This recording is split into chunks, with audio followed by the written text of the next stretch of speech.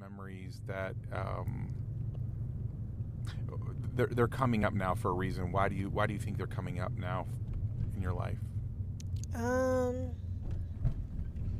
I guess because I, I I used to be a daddy's girl when I was younger, but as I got older, you know, our relationship wasn't always the best. Yeah. So like, it helps to be able to go back to the times that were good. Yeah. And um, be able to kind of look at that over over the times that weren't the best Mm.